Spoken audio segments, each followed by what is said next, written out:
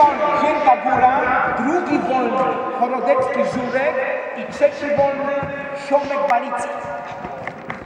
Wszystko wisi już na, na tym, można sobie sprawdzić.